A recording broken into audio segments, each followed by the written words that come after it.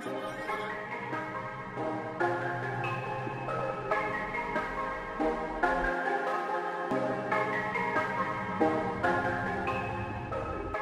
guys, welcome back to another episode of the Ball Fake Podcast. If you're watching on YouTube, make sure to like, subscribe, and support our new movement by putting Let's Go Viral in the comment section.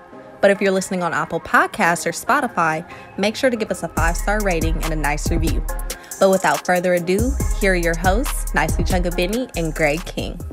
What's going on, everybody? Welcome back to another update video with the Ball Fake Podcast. Today, we're going to bring you guys some more news regarding the Denver Nuggets for Michael Porter Jr. Now, as of today, it has been reported by Adrian Wojnarowski that the Denver Nuggets have finally extended Michael Porter Jr. to a five-year, $172 million contract. Now, Porter Jr. he will be eligible to make a $270 million contract extension if he's named to one of three All-NBA teams after this season. Now, Porter Jr. he's coming off of a year where he posted career highs nearly across the board offensively. He averaged 19 points per game, grabbed 7.3 rebounds, dished out 1.1 assists, and keyed in 54% from the field while also knocking down 45% of his attempts from three.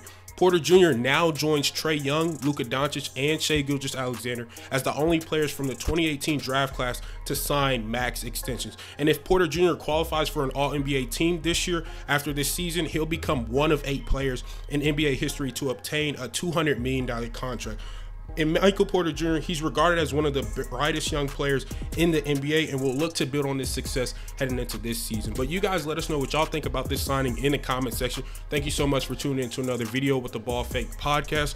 If you're new to our YouTube channel, make sure to like, comment, and subscribe, turn on post notification. And if you're listening on Apple Podcasts or Spotify, make sure to give us a five star rating and a nice review. But besides that, it's your boy, Nicey Chunga Benny. You're listening to the Ball Fake podcast, and we out.